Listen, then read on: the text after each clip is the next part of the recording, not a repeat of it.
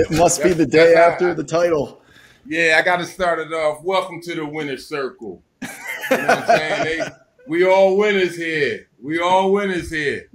You know well, what I mean? Hey, that's all I just want to say. You know, so I just want to start the show off today. You know what I'm saying? Well, just, just oh, you you, you got know. some good you got some good energy about you. You got yes, you got sir. lunch. Yes, sir. It's th- this is the day that you get to you get to flex a little bit. Are you wearing the ring too? Wow! Look at that! Holy shit! Hold on, keep it there so we can put this on. Wow, that's sick. Now they all have um, every ring has something like personalized for the from the city or the team. Uh, there's a certain amount of diamonds that represent like you know how many whatever's mm-hmm. happened. Does does that one have any specifics? Ours, it says on one side of it just uh, the right way. That was our slogan. That was our motto. Play the right way.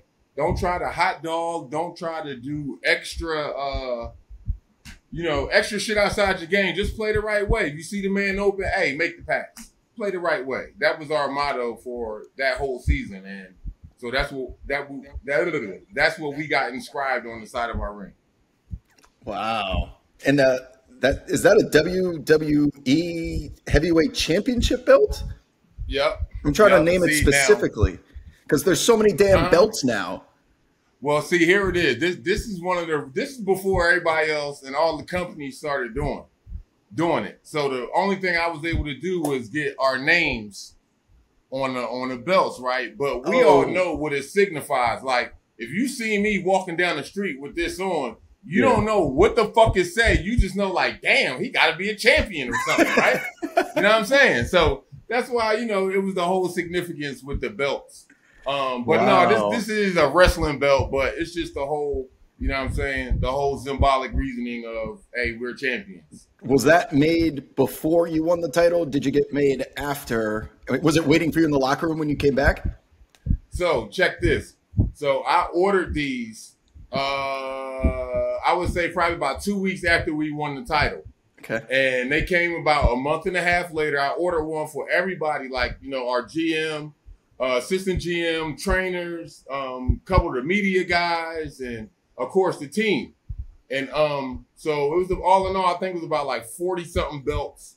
And so they came throughout the summer and I just sat on them. I didn't tell nothing. I didn't say nothing to nobody like, yo, I got something for y'all, this and that, right? So it was the night before um, the opening game. I talked to the security. I was like, yo, I said, when I come in tomorrow, I said, I'm gonna call you when I get to the loading dock because I'm gonna need your help. You know, bring a bring one of the um big carts out with the wheels and shit, right? He's like, all right. So call him, hey, come on, meet me outside. So I just put all all you saw was long ass boxes, right? So he like, man, what the fuck is this? I'm like, you gonna see, watch. And so went into the locker room, and you know, guys went. I, I hid the belts. Guys went through their thing, you know, their whole routine, go out the shoe, get taped, this and that. So after um after LB did his little meeting and everything, I was like, yo, you know, I got something for y'all. I was like, Jerry, I need your help. I was like, I got something for y'all, man, that we can go out there with. And man, we rolled out these bins and I passed everybody they box and they opened this and it was the championship belts. Like, oh Sick. man. It was, hey, you should have seen the jubilation on everyone's face in that locker room, yo. That's it an was, awesome gift. It was awesome, man. It was awesome. And then I was like, yo, I was like, we gotta wear these out. So we was like, all right. So what we did was, um, you know, we put on our, our full warm up, right? And we just left the jackets off. And then um, we put the belts on and then put our jackets over the belt. So everybody ran out. You know, we in the layup line. And then we then was like, hey, yo, y'all ready? He's like, yeah. And then we took our jackets off and everybody seen the belts. They was like, oh, all you seen was fucking cameras flashing and shit like that. Yo, it was it was awesome, man. And, and watching those guys last night, dog, it, it, just brought back a lot of memories, man. Bringing back sweet memories, man. You know, it's yeah, man, it was awesome. And that that jersey you're wearing, I'm going to assume is the game worn because I see the the emblem on the on your right mm-hmm. shoulder. That's yeah, got to be the winner circle today. Yeah, that's the that's the specific finals jersey. I don't know if they still do that today. I can't remember seeing the Larry O'Brien trophy on the court or the jerseys. So that's uh that's pretty unique. So yeah, man, we you know had to get it going with this, man. It was fun. It oh, I love, so love I, the energy. I just thought this was the perfect moment to bring yeah. all of this back out. And then and then you see my sneaks behind me. They're the game worn sneaks that I had you know, uh, in that game five and shit, you know, they still got the blood stains on them and, wow. and everything like that. So yeah, man, it's the winner circle today. We all winners here.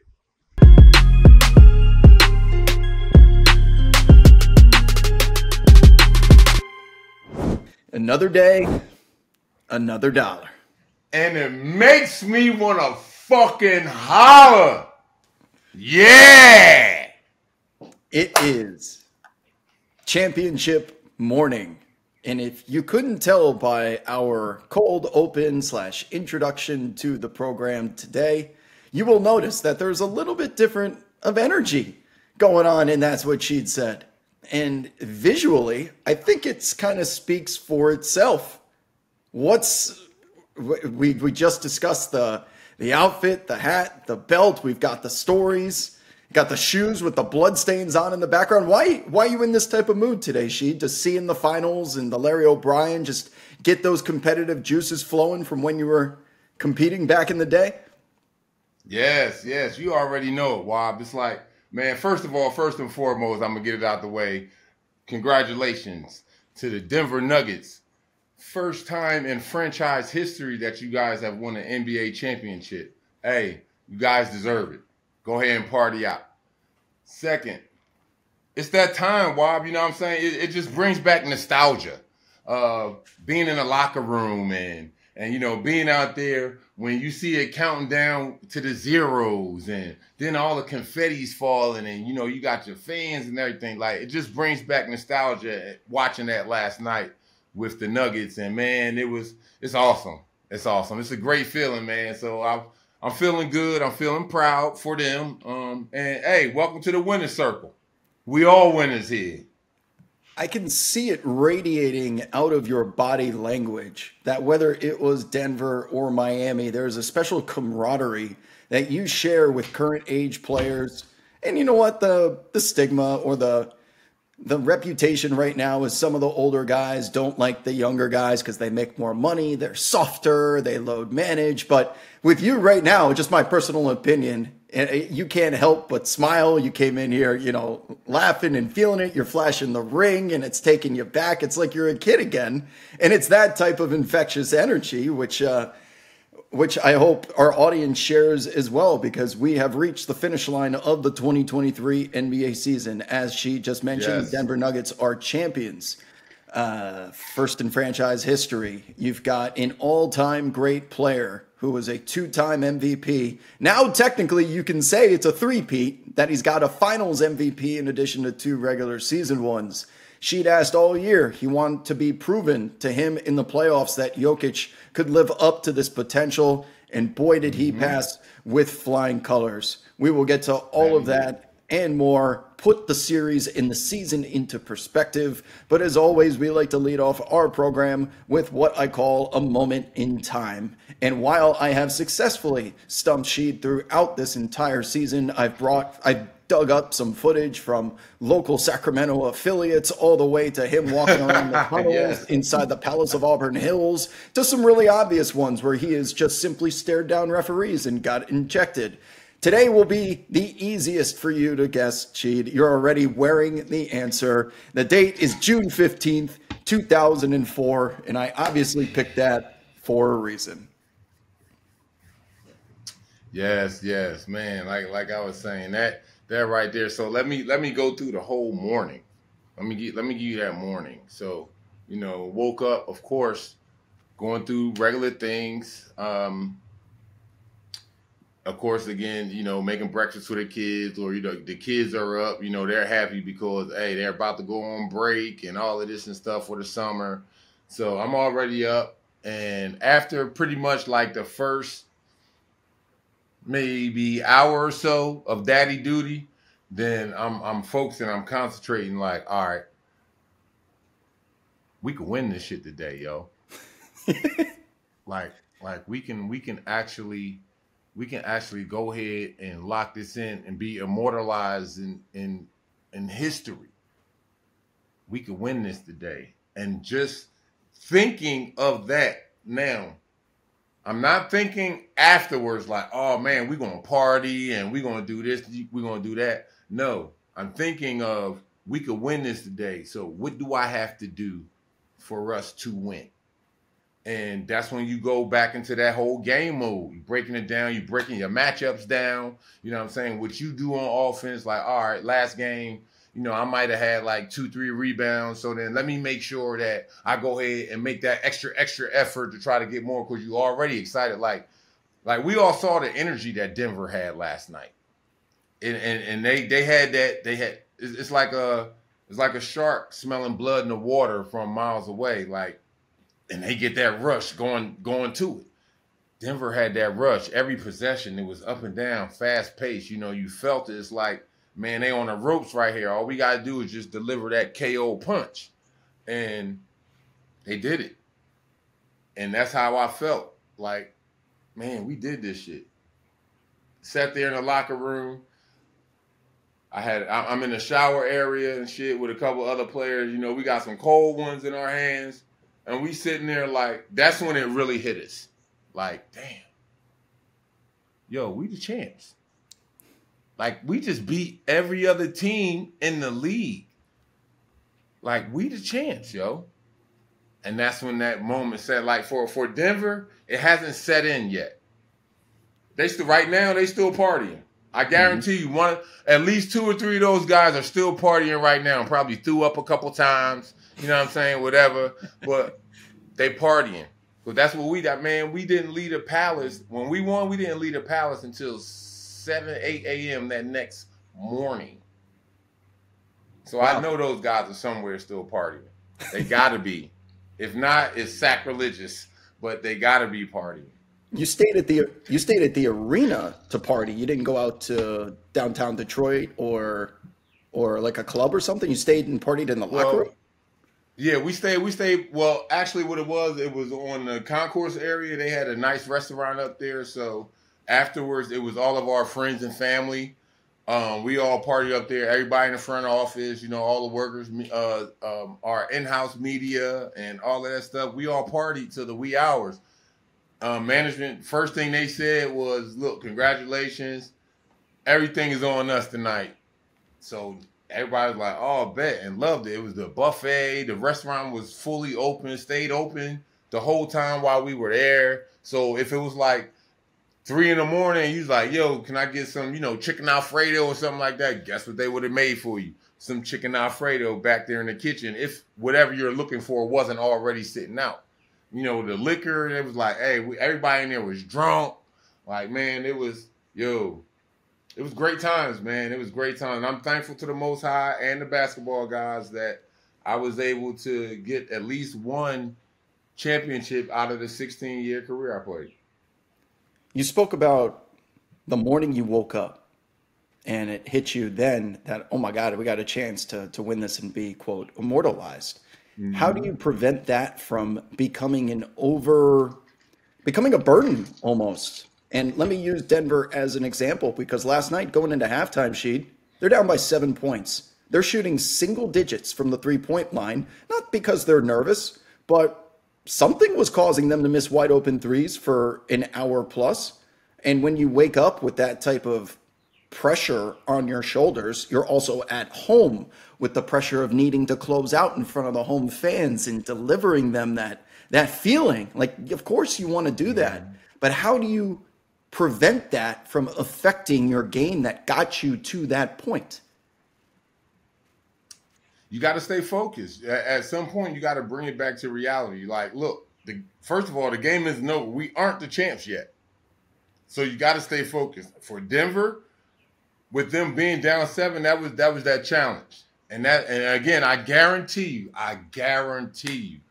Now, I don't I don't know personally, I don't know uh, anybody outside of KCP on that team, but I guarantee you somebody in that locker room at halftime reminded them look, we go out here, we do what we got to do. We rebound, we defend, we share that ball, we run, we got the energy.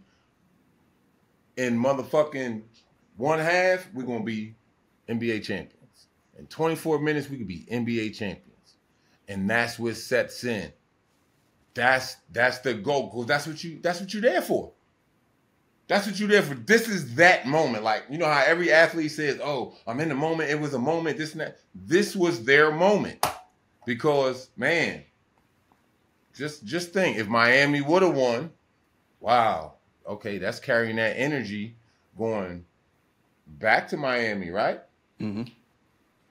Totally different ball game. Now Miami's coming with that. All right, we home. We got to go out here and get this. We fighting for our life type of energy. But that second half, Denver came out like, all right, look, let's get this shit together, man. And they they play ball. They play ball. And one thing I like about them, they they play team ball. Two reactions which got to me and spoke to me, Sheed. The first of which, the rookie on Denver, Christian Braun. He has three high school titles. Last year, he won a national championship with Kansas against our Tar Heels. Rookie season this year, for the Denver Nuggets is an NBA champion. That is quite literally perfect. I'm thinking of that scene from Remember the Titans where he goes, With all due respect, mm-hmm. coach, we have been perfect. When you say nobody's perfect, that's not true. We are perfect. Like Christian Braun's basketball record is almost perfect. Now, on the that was so watching him react as a teenager practically and just continuing this success is a best case scenario. But on the other side of the fence, watching Jeff Green go down to his knees in uh, emotion. And what hit him there, that man, you look at his history of teams yes. that he has played for in the NBA. He was drafted, or I don't know if he was technically drafted, but he played for the Seattle Supersonics. He's been around for so long. All of the, yes. the journeymen, the journey that it took him 15 years to finally hoist the trophy. And then he had an influential part of it. He wasn't just someone who signed on and sat at the end of the yep. bench. Like his presence mattered in a lot of different ways. And to see the emotion yep. of the moment overcome him and to see him celebrate that way, it made me think of you in, in a way. And that not because uh, it took you that long to get it, but you know what? You come into the NBA in the mid 90s. You you you fall just a bit short with Carolina in the in the NCAA tournament. You have to face Kobe and Shaq when you pro- you have probably the second best team in the NBA for a considerable amount of time, not able to get up over the hump, and then you finally get there a decade into your career. So, yep.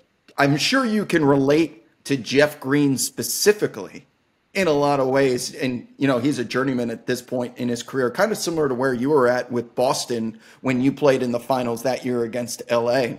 But overcoming the Lakers, who had been your biggest, personally, your biggest rival to that point because of how many times they eliminated you personally from the playoffs, or in this case, you right. faced them in Detroit in the finals. I'm kind of just, I guess, want you to put into perspective someone that it takes 10 years of NBA to win your first title, how that would have how that felt differently than if you would have won it, let's say, your rookie season or immediately. Did it mean more? In I guess in a way is what I'm getting at. Oh, it, it definitely meant a lot more because you got to think of all those hours that you put into the gym after you became an NBA player. Um, you got to think of all the the hard games, all the injuries, all the rivalry games. You know, you you, you put all of that into perspective. Uh, the Christmas games. Um, you know, we might be playing on New Year's or the day after New Year's. You know, you put all of that into perspective because you're gonna sit down and say like, we the kings of the mountain. Like we sitting on top of the mountain right now. And that whole struggle it took for you to climb up that mountain with again, as you mentioned with uh with the young fella, he's a three-time high school champion and he's the NCAA champion. You know, that's a lot of work he put in there. You know, mm-hmm. that's not a, a easy thing to do to repeat as champion over and over. You know, very few guys do that in their career. I think in football, from what I know, of course, uh, it was Edwards Claire uh, Halare or Hilaire. I like to call him Halare, but he did the same thing with LSU. You know, he got his championship with LSU, and then his first two years in the NFL, shit, you in the Super Bowl. Like, so I understand that feeling. So with Jeff, man, you talking your whole career. If I'm him, that's it. Thank you, y'all. Yeah. Um, it's it's the best way to go out. You know what I'm saying? It's on top. You know, I I was able to go to three finals, and the last finals I went to, I lost. But for him, he has he has a chance to do something that a lot of players our age don't do. That's the retire on top, retire that champion. So it's like forever, you know, he's in that club now. It's gonna be called champ. And I and I and I personally liked it. I was definitely rooting for Jeff, friend of mine, someone I know, and he did. I, I was rooting for him because he's he's the veteran. He's the old guy out there. You know what I'm yeah. saying? And again, look at it goes back to having that veteran leadership. And Miami had theirs too with Udonis Haslem, but that veteran leadership that was mm-hmm. needed for that team. So I don't want to ask this question and uh, uh, what's the correct term here? First of all, again, I'm thinking of just Christian Braun, who again has only been in the NBA for one year. But you specifically, um, you have a lot of what Bam Adebayo is currently experiencing during his career, where he's at right now. Because for two to three straight years, I even before I started doing this show with you, I remember as a fan, and I as I continue to pull up the footage to talk about the specific moments with you, all of those years that you put in defending Shaq, and you've told stories about going to the locker room after and stuff like that. Def- uh, coming back against the Dallas Mavericks, down 3-0 to tie the series against Dirk Nowitzki and mm-hmm. Steve Nash. And how many damn big shots that you hit, in addition to the defense that you had to play. And Bam Adebayo coming, if we if we did this rankings, if you will, of most important players before the 2023 NBA Finals, we probably would have agreed on either Jimmy or Nikola Jokic is going to be number one, number two. Then it's Jamal Murray, number three, and it's Bam Adebayo, number four. And now Bam between his run in the bubble, ultimately falling short to the great Anthony Davis and LeBron at the peak of their powers, but having a super memorable play like you did in defeat with the block of Jayson Tatum at the rim in the conference finals. Fast forward to now, Bam Adebayo has to take on the burden of defending what is the best. I mean, we can say it. He's the best player in the world as of this very moment in Nikola Jokic, putting in 40 minutes of work. In addition to that, averaging 20 shots a game for a guy that's not supposed to be the high volume, high quantity, and he still falls short again. And he's so good, and he's evolved to the point that he's becoming a cornerstone piece on a team with championship aspirations. I was hoping that you might be able to provide just, I don't know if he's going to watch this, but boy, do the two of you have similar career parallels in the way that you got there really close a couple of times. You put in fucking work, big time performances, and ultimately it was it wasn't enough. But you ultimately ended up getting there. So if if Bam was here right now, what would you say to him to kind of get him re-energized for next year to get back after it? Well, it's it's a long it's a long dog day process but first, you got to relax. Take care of your body. Take your family, you know, your wife, kids, all that. Go on vacation. Um, one, because they deserve it because they've been there with you, the ups and downs, the whole season. So that's your number one right there. You gotta you gotta tend to family because now you're not playing basketball no more. So now you are that dad. You know, you are that stay home dad now. Um, and with that, to me, I've I, I, I had the feeling that like it's gonna be all right. It's gonna be okay. Like, cause you know, I'm around my kids, and that was like that's the whole bottom line. Honestly, overall, outside of my personal, of course, my personal is to win an NBA championship. Who doesn't want to be, you know, the top of their craft? But my whole overall line was is for my family to be happy. And after I lost, you know, took that hard loss, when we had that meltdown in 2000 went on vacation with my family and, and, and my kids made it feel better You know, yeah, of course you're gonna run into your fans who this and that, blah blah blah. But you know, I ignored that. But my kids and my family, being with my family, made it feel better.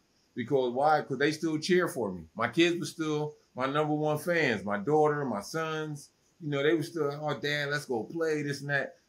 Yeah, they cared about the basketball, but they didn't really give two shits about it because they just see me as dad, opposing yeah. to yo, she wow, it's a power forward in the NBA, bang, bang, bang. But and that's what made me feel better. So I, I would have to say for Bam, now be with family.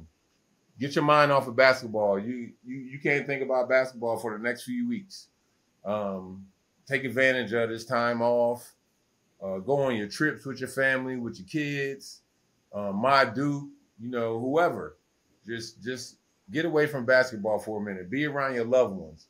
And yeah, you're gonna hear the criticism or whatever, but just know, like, look, yeah, you are going to play basketball again, but hey, all right, let people speak their piece or whatever. But your biggest focus is your family. And that that may be uh, a majority of the answer of the question I'm about to ask you. But you are such a treasure chest of information, stories, and experience that I, we have we have good vibes in this conversation right now. But I want to ask you because you have whether it was on Portland against the Lakers, Detroit very soon thereafter, winning the title in Boston against those same Los Angeles Lakers. You have experienced the highest of highs, but also the lowest of lows multiple times. And while the euphoria of celebrating in that locker room, staying in the arena till the sunrise is is the ultimate payoff in dividends back to you because you have the experience. Yeah, I understand the answer of getting back getting with your family, that always helps. Having your kids say "dad, dad," and you know that that puts life into perspective. But those yeah. moments coming back into the locker room, it can be for any of those three teams that you almost reached the mountaintop with. You know that I imagine you're not you're not sitting in there for an hour, you know, just uh, scrolling your phones or staring off into the abyss what what traditionally happens in an NBA locker room? Does the coach come in and address the team? Does the general manager or the president come down there and say some words? Does everyone just grab their shit and get out of there? Like I don't know. I would love to hear.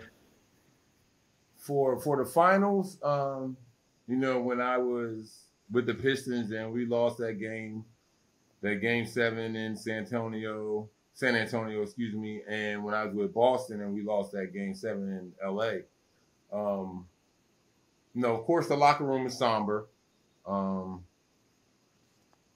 it's not too much being said. Cats are pretty much thinking about the whole, the whole, as I like to call it, the whole Brian McKnight. I shoulda, coulda, woulda.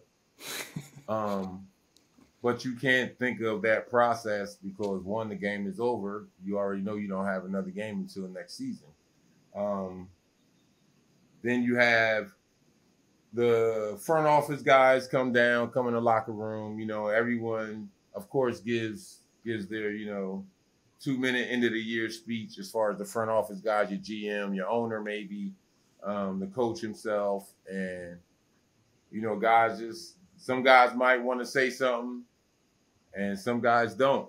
Um, but we all know you gotta you gotta handle it as a professional. Like it's always going to be a winner and a loser, but you always got to take it in stride.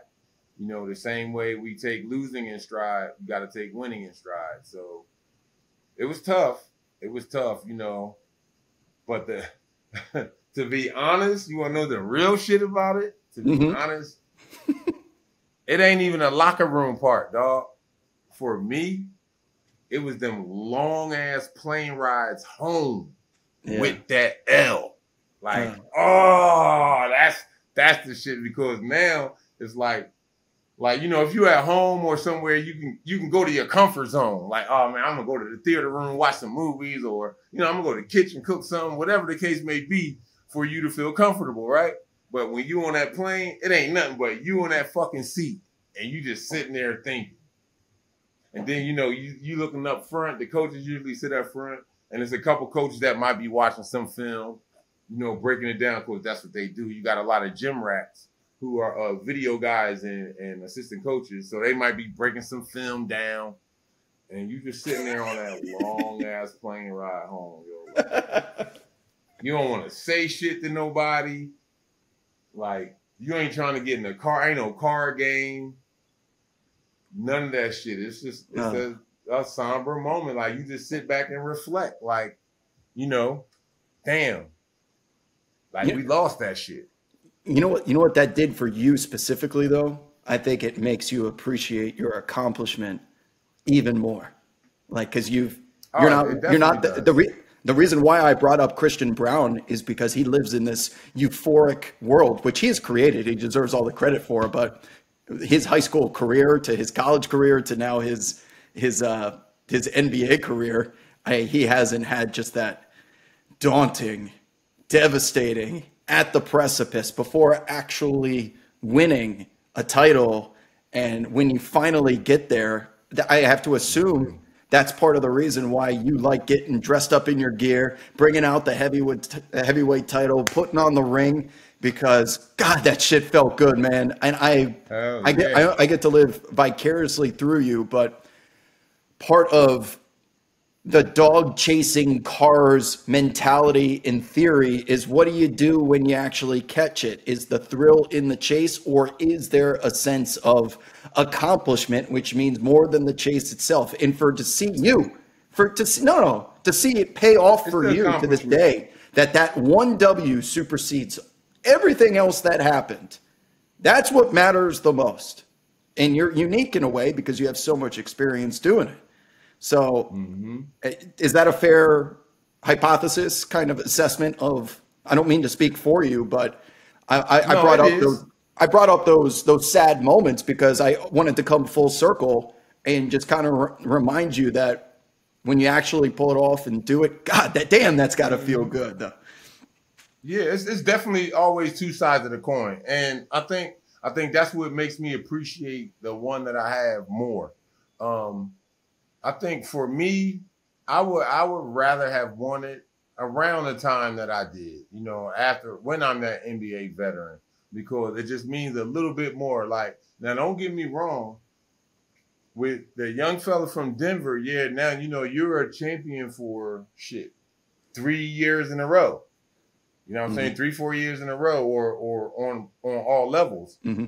But here's the thing, like shit that success ain't going to be there for the rest of your career.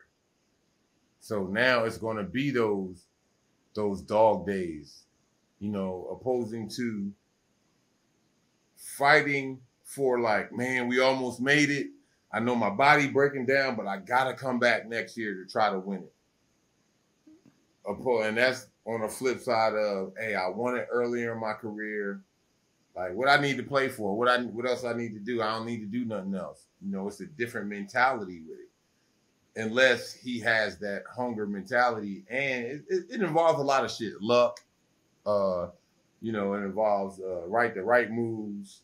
Uh, you know, this guy, mm-hmm. that guy, whatever the case may be. But man, it's yeah, it's, it's, it's a good feeling, and and man, it's a fucking terrible feeling. Yeah. Uh, again, I, that's I, life though. Both sides of it. Yeah, yeah. You know, it's always hey. My mom told me one thing in life is the same as as sports. It's always going to be a winner, and there's always going to be a loser. so, which one do you want to be? good philosophy. Good good perspective of uh, mm-hmm. of, of basketball and life itself. I have a I have a couple more questions that uh, before we just discuss the finals, uh, the actual play on the court. The time between winning the title, the celebrating, and the parade, you usually have two or three days in between. What are those days like? And then being on that float.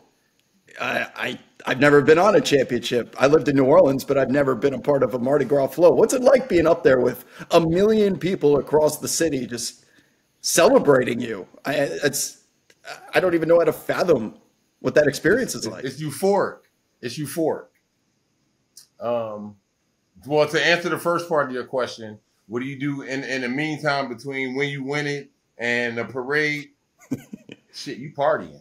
like, for, for, and, now here's the thing: I only I only can speak for me. So for me, of course, my daytime it was the kids. You know what I'm saying? Because my kids was in school or or summer program or something. Of course, always had to get them that time. But that's when my kids was going to bed at like eight or nine o'clock. Yo, 10 o'clock on certain days, 11 o'clock. I tell my, I told my wife, all right, I'll be back in a minute. Yo, I'm going to party. Then there's some nights, you know, we might get the babysitter. We out partying together with everybody else on the team. Like we was partying. It was, it was, like I, I guarantee you, I'll tell you this.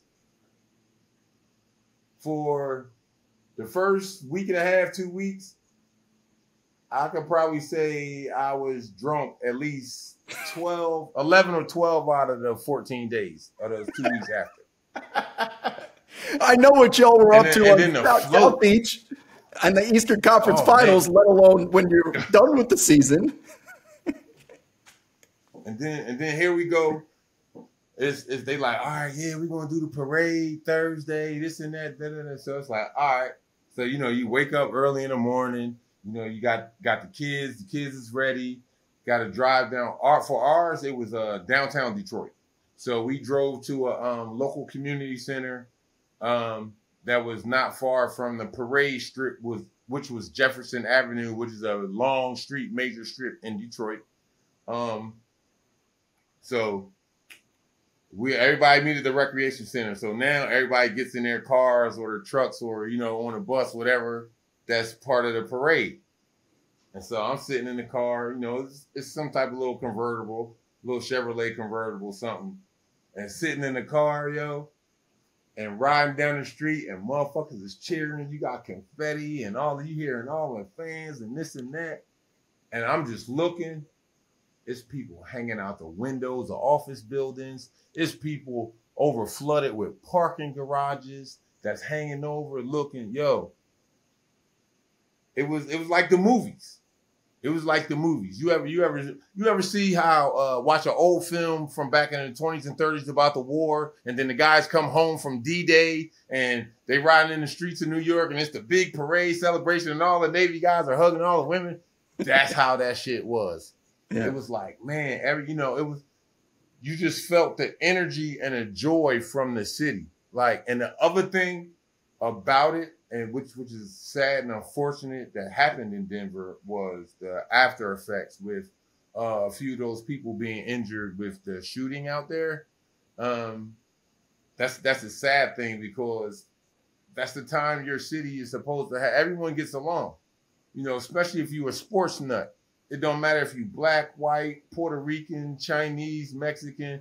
If you are a fan of that team, and y'all just won a championship, man, I'm I'm not looking at you as, you know, the white dude who's doing this or that, or, you know, they not looking at me as, oh, this the angry black dude all the time. No, we are cheering in the streets and jumping in the streets as fans. That's how it was for me in Detroit.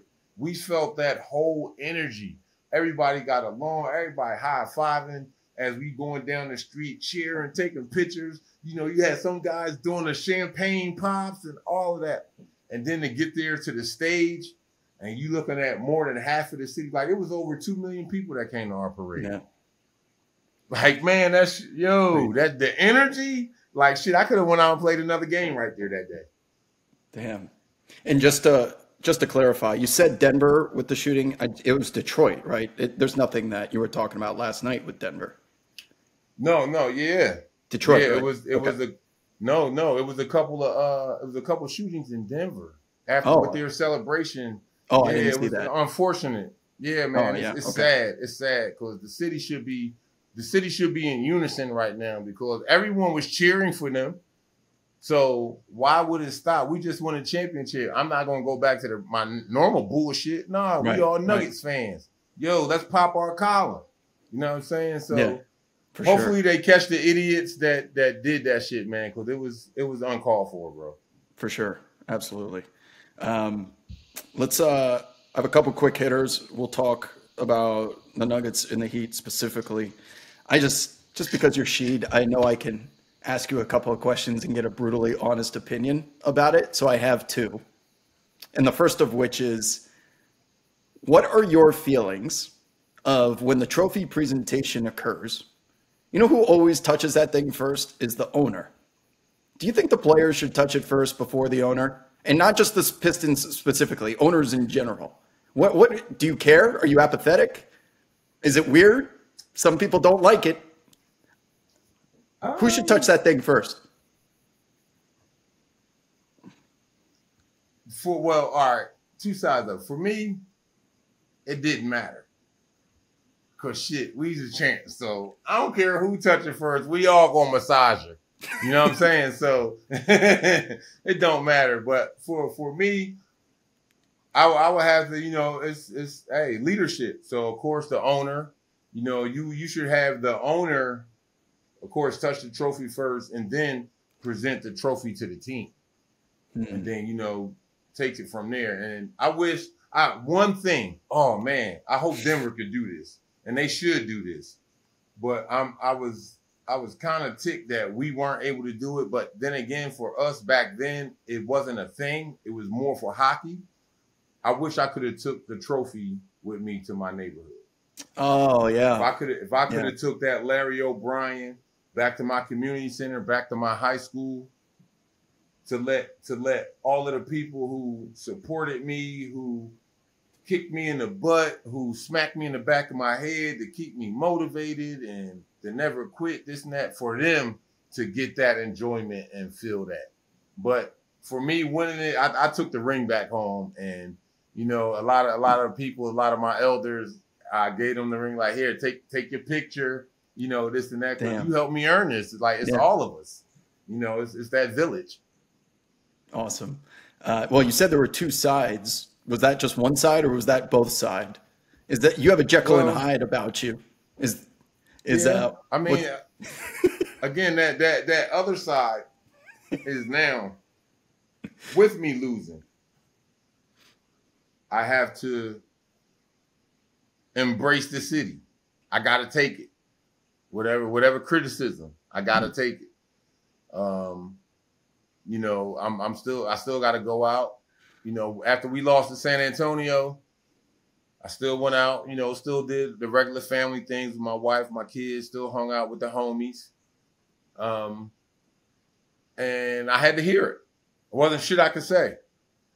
You know, I felt like I let the fans down, let the people down of Detroit and Boston when I was playing. Is like, but to me, they had every right to say, um, you know, maybe we ain't shit, or we could have tried harder, or we should have did this, we should have did that.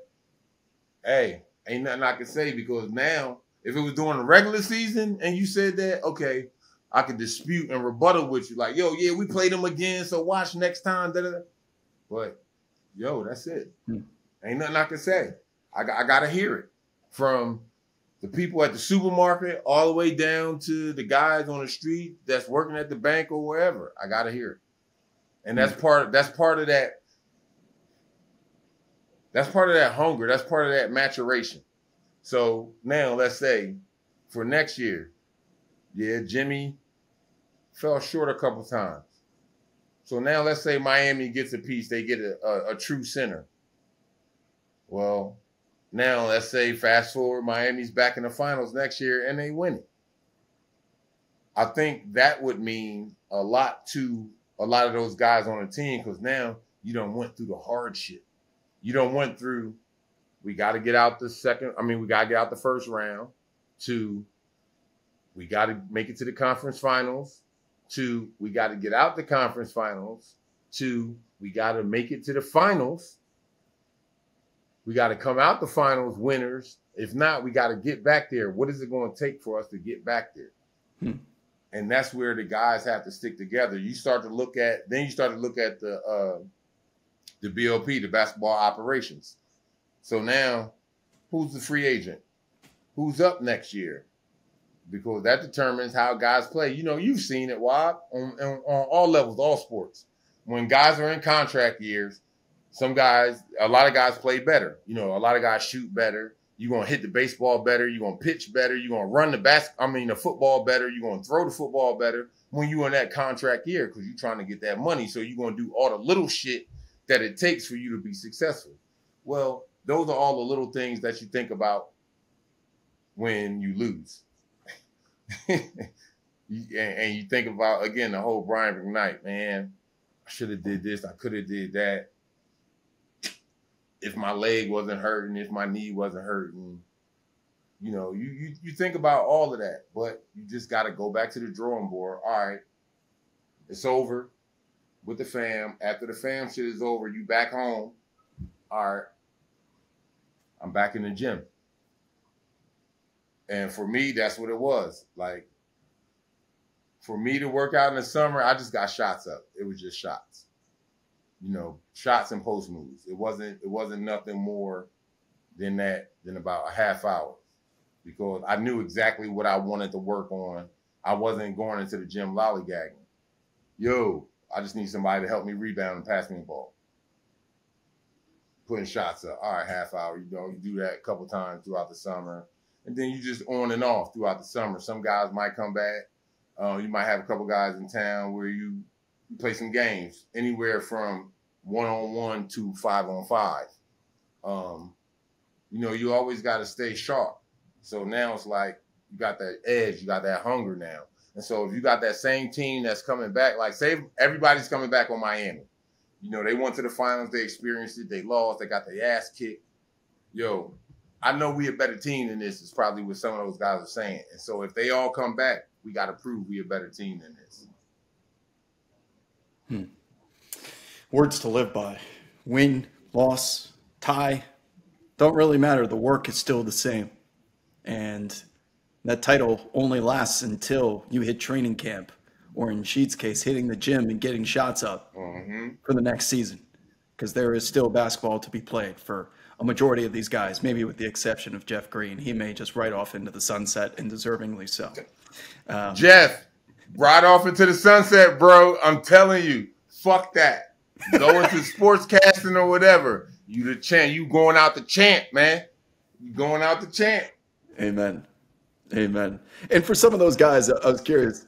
Some of those guys that uh, on this year's Denver team, the example that everyone's talking about right now is Bones Hyland, who requested a trade, wasn't really meshing. He's still going to get a ring. He's still technically a champion because he was a part of it. Uh, I'm sure you had some players on the Pistons team and and uh, some of your other finals contenders that were a part of the team, and then got either traded or let go. If not that you were ever in that situation, but how do you think they should feel about getting a ring? Is, is a ring a ring? Like you were still part of the team and you should be proud of it? Um, or someone like yourself that had such an important role in the actual championship itself? Would I feel kind of weird being the guy that was just at the end of the bench that didn't get along and eventually got traded? I don't know if the ring would mean the same to me personally, but everyone's different. And since you've been in the trenches with guys that aren't getting minutes and or are disgruntled, you know, do they feel the same way about being proud of their championship? I, I don't know. I'm kind of just thinking out loud. Well, it's it's weird you say that, man. So I ain't gonna mention his name, but it's one cat that was on that Pistons team when we won the championship. He ain't do nothing. He didn't come to the parade. He didn't come to the ring ceremony. They sent him his ring in the mail. Oh. Um, he ain't do none of that. And you know why? All because the last two games, well, actually, I take it back. What in the last two games? All because he wasn't on the playoff roster and we were playing LA and he was from LA. So oh. he felt disrespected.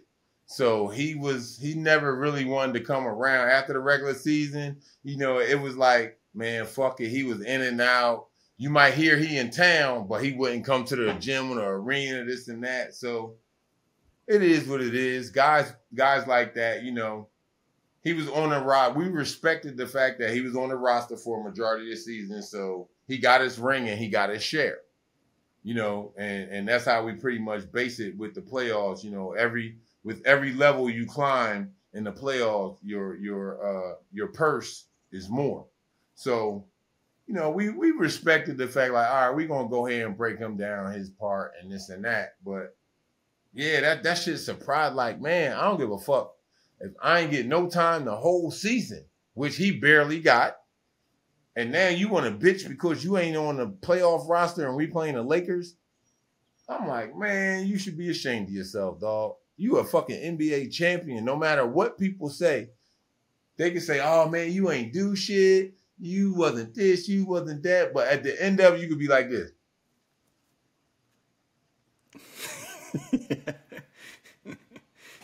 my name. You see my name. You look the roster up. You see my name. You know what I'm saying? Yeah. And, and it just it just totally shocked me that this guy wouldn't come to any of the celebration. And this is what you, when you're a little boy, this this is what you in the schoolyard for.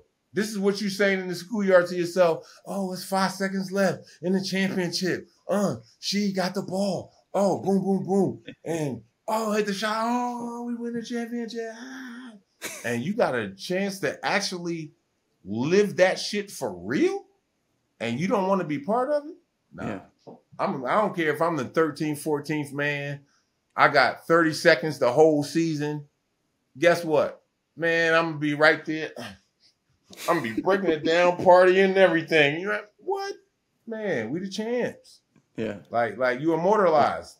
I, I, I don't know who this individual is, but I imagine as time passed, they probably may regret just not being a part of that because you know I hope when, they did. When the emotion of the moment, you know, dissipates and then the pettiness wears off naturally over time and it turns to apathy, you're like, damn, I missed out on, you know, partying with my guys because I was upset with whatever situation. Maybe maybe it was not the case. Maybe they're still holding that grudge to this day. But you know what? There are examples like that, even in victory, which is what makes uh, winning a championship so so interesting at this level. There's all the facets that go into it, and uh, having you to be my muse of of uh, in- inquiry, if you will, and just learning more about it. Because as as a fan, I I haven't played in the NBA. You know, I've worked in the NBA, but I've certainly not been in the locker room as a player. And uh, we can only we can only consume with the media that we are provided with the stories that are told. So when we actually get to hear some of this stuff from behind the curtain from people that have been in the trenches, you know, that is that is something I look forward to as a content creator, and I certainly find proprietary uh, is your brain and experience. And I guess we'll uh, we'll kind of put a bow on this season and just as I'll, I'll ask about your just finals opinion of the Nuggets, the Heat, Jokic. What are your takeaways from it? Um, while watching it, were you pointing something out that that ended up being important and vital and ultimately was a part of the result? You know, what what are your takeaways from the 2023 season and finals? Well, it was it was a good season. Um, definitely a very entertaining season. Uh, of course, you got to tip your hat to the champions, no matter if you like them or not, no matter if you respect them or not. At the end of the day, they are the champs. Um, it was definitely a memorable season with us having uh, a new NBA scoring king, as far as in LeBron James taking over the scoring title from the captain. Hmm. Um,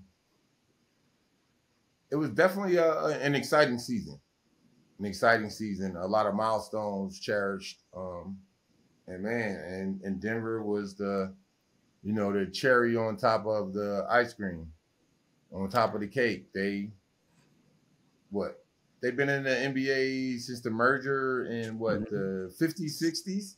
60s would so, be my guess. Yeah. Yeah. So here it is now to finally 70s. Not only they so so they they're what one for one if I'm not mistaken, right? It's the first time that franchise ever went to the finals. Yeah. It's the first time they won. Yeah. Right. One for yeah, one. That's that's one for one. Yeah. That's, that's pretty good. That's pretty good. Uh, pretty good percentage right there. Denver Denver um, has uh, two things under their belt now. They are the longest. They have the longest odds upset in NBA playoff history when they were the eight seed. I think they took down the Sonics with Dikembe. Uh, they were something like 20 to 1 to win that series and they pulled it off and now they've got their first title as well and we come full circle on this show because you know you and i have argued uh, in the past between when we were talking about regular season mvp i remember when the 76ers played denver in philly and Joel Embiid just had a dominant performance, and it felt like in that moment the regular season MVP, not the playoffs, but the regular season MVP, was likely decided that night because of that mm-hmm. shot. But then I was trying to put into context the that there's still a lot of season left. Jokic this, Jokic that. He's still you know, is is two time reigning, and our conversation was always coming back to you having to see what Jokic does in the playoffs and if it translates all of this regular season mm-hmm. success. So while you're sitting here saying you got to tip your hat to the champs, I just I want to hear it hear it from you. Has Jokic finally done enough for you as a former player uh, and a now a viewer of the NBA and a consumer of the product? Are you ready to just say Jokic did it? It's it's in stone there's nothing that you can take away from him. And now that same mindset of having to see him do it in the regular season, someone's going to have to take it away from him next regular season, right? They're going to have to prove it in the playoffs. Does your mentality still now stretch to whoever threatens Jokic's proverbial best player in the NBA? Did Jokic do that for you finally? Did he get you there? Oh, no question. He, he, okay. he definitely did it this year. Um, I, I definitely tip my hat to the man. Um, he did what a lot of naysayers said he couldn't do. Um, he did what a lot of people who doubted him, which I was one of them. Um, and he proved me wrong, which I don't have no problem with saying that.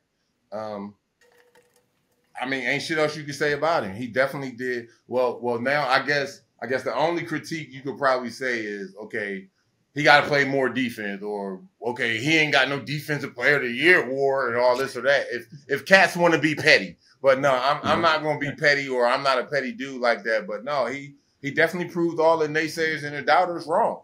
Cause I went out there and did it. Yeah, you right. Uh, for the last couple years, we fell short. We had a good team. I won MVP. We fell short. But here's the thing: I don't know why, but it's, it's I guess it's something with the basketball guys from the way that it is with his career. If you look at it, when he gets MVPs, gets knocked out the playoffs. He don't get the MVP, he wins it. And it's like, hmm, is he still, is he not an MVP caliber player? But yet he is. Mm-hmm. And definitely I have to admit that Jokic is one of the uh, best big men to play the game and he reminds me of a young Sabonis. Um, and right now, I would have to agree with with a statement or, or a line that you said in the beginning of the show about him being right now he's the best basketball player in the world. He's a big man. Is a that's the other man. part I like about it. It's a big yeah. man. It ain't a guard. It ain't a, a, a fucking no. wingman. It's a big man. So the, yeah, he but he definitely gets um, you know, he gets my respect for sure, no doubt about it. He's he's in that winning circle. He proved all the naysayers wrong, and that's the biggest thing. And and the thing I, I actually like about it as well, he ain't say shit. He just went out and played. Mm-hmm. As you always say, to get respect, you got to give respect, and at the same time, you have to perform and do all those things. And yep. I think he checked all of those boxes. Jamal Murray coming back from the injury my big question was going to be mm. could the two of them coexist? They're both great players. There was only one ball last time I checked. We knew they had chemistry in the bubble, but could the post injury Jamal Murray with the two time MVP version of Jokic, not the bubble Jokic, but the this mm-hmm. version, could they coexist? Not only did they, but they might do it again next year. This is the same team that they're returning. They're favorites at sportsbooks for a reason. And yeah, uh, got to be yeah, there's there's really no reason to believe they don't have a chance at doing this again, pending any injuries, suspensions, or whatever. Right. But that's why they play the game, and they have now earned that uh, that reputation of we're the top dogs, and until proven otherwise, they've got that for the next year. Uh, before and we sign and off, that's a hell of a swagger that that they're gonna walk with this summer, this whole summer. You hear me? Everywhere they go, people gonna know who they are everywhere they go. Now, now just imagine. I, I'm pretty sure. I guarantee you, they're gonna show this shit on Sports Center. Uh, Jokic when he go back home. Oh yeah. Oh my gosh! How the fucking whole community, oh yeah, his, his whole little basketball pavilion that he has out there. Oh, they're going fucking crazy right now. They partying over there. They still think taking shots right now. Yeah, oh yeah. They'll they'll be up for the remainder of June.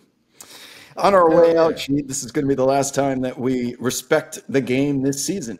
Is there anyone that comes to mind? You've done a lot of respecting today, which I appreciate, but is there anyone in particular that comes to mind on this special day on the NBA calendar for our Respect the Game segment?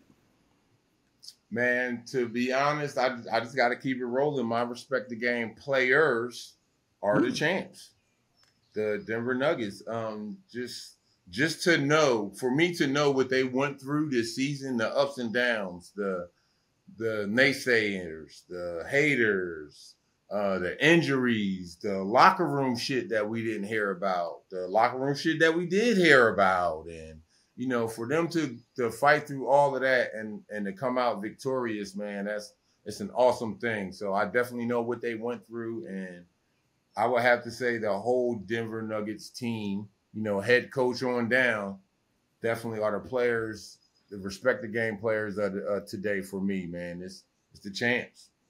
Welcome to the winner's circle.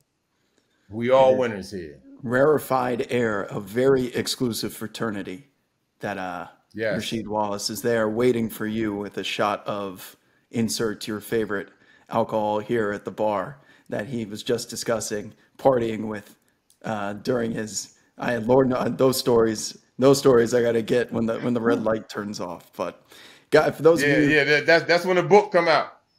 yeah, get ready to pre-order Rasheed's book when he's ready to tell all. Uh, that'll be that, that'll be one that you have to have. On that note, for those of you that have made it this far into the season as well as into this episode, uh, we want to thank you, Sheed and I, for spending an hour out of your week to talk about the season with us. You know, I, I Sheed's got a little bit more experience on this planet as I do. We've got some uh, some wisdom sticks coming out of our beards, and Lord knows yes, that yes. he's got he's got a lot more stories. But you know, my goal as a part of this program was to always put Rasheed in a position, and I told him this before we started doing the show this year that I think this program will thrive if I can find a way to parallel and your experience in the NBA with what's going on now because the mm-hmm. viewership of like on YouTube traditionally skews younger. And Sheed, you'd be surprised how many viewers weren't even born when you won a title, let alone were able to see it. Right. So you're here telling stories about Cliff Robinson, Rodney Rogers, and Jason Maxiell, and these people are like, who the hell is he talking about? So it's it's my job to get that younger audience, as well as the fans like myself that were alive and got to enjoy your championship runs, and that we kind of meet in the middle and educate right. a younger crowd on what has uh, transpired in the past, or you know, keeping you up to date with some of the events in 2023 that's happening on Twitter and bullshit like that. That intersection of of age demographics has always been interesting to me, and getting getting an hour every week out of you, I thought getting an hour might be a challenge. It's been keeping it to an hour. That's been the difficult part. so for me, uh, doing this, you know, has right. always been trying to trying to sprinkle some some tinder on top of your embers to to get you into either story mode, analysis mode, and sometimes you don't even know when you're doing it, which is why what I love the most. When you start like pulling some shit about one four high and then rip was in the huddle doing this like you're you're getting into it and i'm just sitting here like yes yes this is what i want right here. It takes a couple of times and i'm to get some shots up against you but um, that was that was the guts of this program and uh, i have thoroughly enjoyed doing it with you. I don't know if this will be the the final episode. We might do some other stuff here as we approach the summer and, and revisit some content but as for the the NBA calendar, if you will, the fiscal year has come to its conclusion with this in the draft. So we will move forward. Hopefully, you guys will join us. Yeah. And Sheed, any parting words? Definitely. I, from my heart, I just want to thank all of you fans out there who've been with us the whole season um, and listening, listening to us praise and talk shit about your teams. Uh, you know, hopefully you won't hold that against us. But uh, hey, we're just here doing our jobs, having fun for people like you. And definitely stay tuned because there's definitely going to be more from Wob and myself. Um, hey, it was a hell of a ride. It, it was, a ride. I loved it, and I definitely appreciated it. We'll have to do a parade. Going out on top. Yeah, you know what? I'll rent us an Uber and I'll we'll do a little parade next time you're either in LA or I come to where you're currently residing. I will uh, we'll go through the streets of Franklin together and this is our championship parade from a great season of That's What Sheed Said. And ladies and gentlemen, this yes. is where we sign off and say goodbye. Thank you again, as always. That's Rasheed Wallace. I'm Rob Perez, World Wide Wob. We will see you on the timeline.